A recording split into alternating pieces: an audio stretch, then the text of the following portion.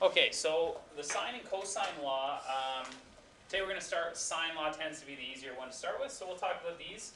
Um, one, one thing to remember when you're looking at the, the sine laws is, uh, well, in this one, it looks like I've got capital letters. Um, let's say capital letters. Angles. And lowercase. So, I actually got it backwards here, I'll just quickly change my picture around a bit. So let me show you, uh, so it would be, uh, I can't remember if this was the same, but it doesn't matter. Okay, so this would be the lab, the labeling convention, that the, um, small letters represent sides and the big letters represent angles. And the way we pair them up is, it's in the triangle, there's always one side that you can associate with an angle, it's the one opposite or directly across. So for example, this is labeled A because the angle directly across from it is A. There's two adjacent sides, so there'd be some, you know, who is adjacent? Well, there's, there's some confusion because there's two pieces. But there's only one that's opposite, so that's why we're gonna use the opposite side to be labeled with the same letter for these two, okay? So, now I'm gonna show you where cosine law comes from. So those of you who are future and aspiring mathematicians can sort of have an appreciation for where that, where that comes from. That doesn't look very perpendicular. Let me try that again. Well, it's better, but anyways. Okay, so what I'm gonna do is, uh, we're gonna go back to the trig that you do know how to do, which is right angle trigonometry. And so, the reason I'm doing it this way is we can use the knowledge you've already got to figure out where sine and cosine law comes from. So the only reason this picture is helpful is if for some reason you forgot the uh, sine law and you didn't have a formula around, it could help you re, uh, remember it. So I'm going to call this here h because this is the height of the triangle. Okay. And I'm going to come up with a formula that relates pieces of this triangle. Okay. So for example, if I was to write down, um, I'm going to call this triangle number one, which is the left half, and triangle number two. Okay. So in triangle number one, if I was to take the sine of b, it's equal to opposite over hypotenuse. In triangle number two, if I was to take the sine of a, it's equal to the opposite over the hypotenuse. So there's something these things have in common, and that's the letter h.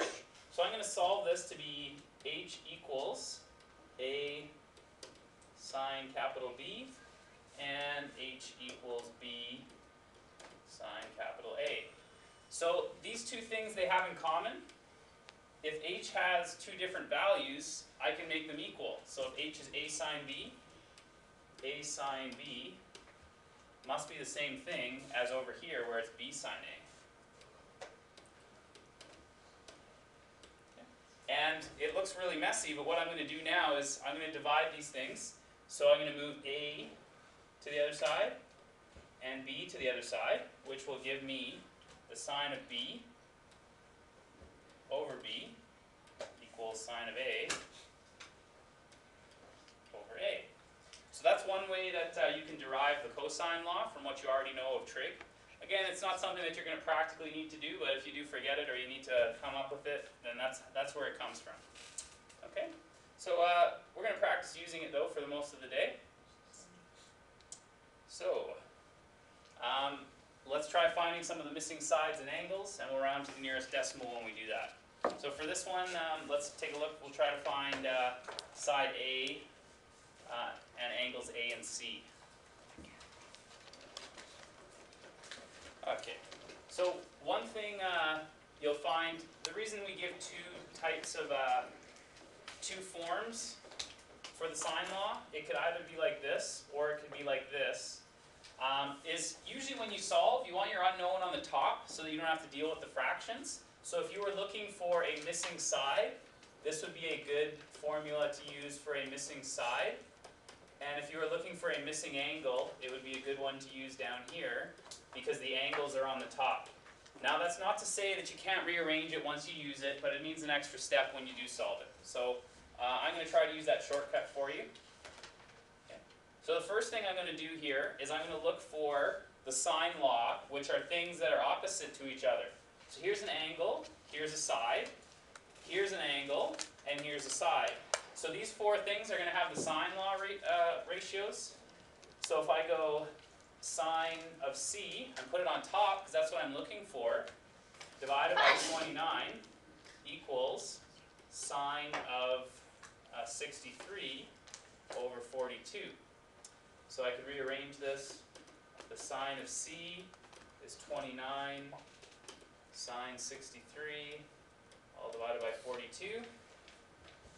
That gives me, let's see here. Uh, s- sine of sixty-three divided by forty-two.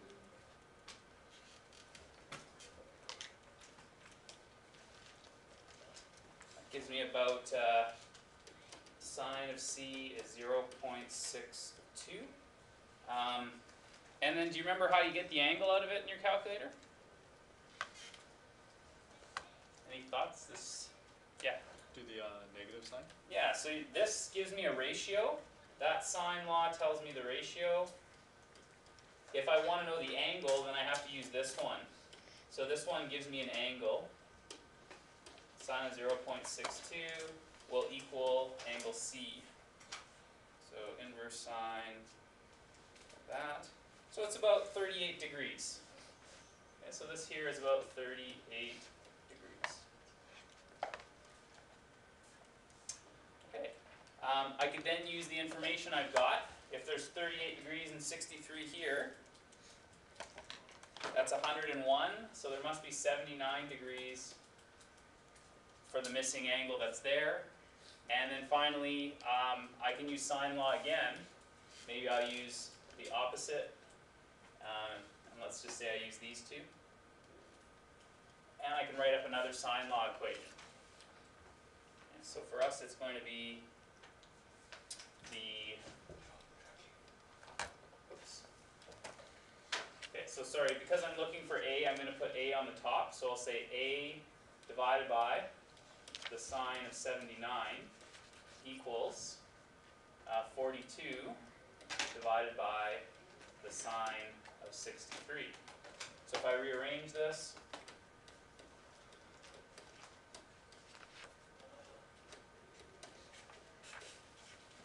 I get the length of.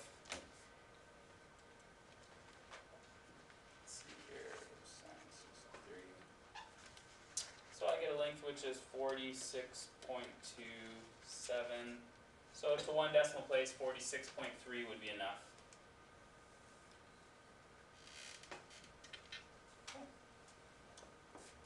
Okay. Any questions so far on the sine law? Okay, so I'll let you uh finish this one here and then we'll double check it.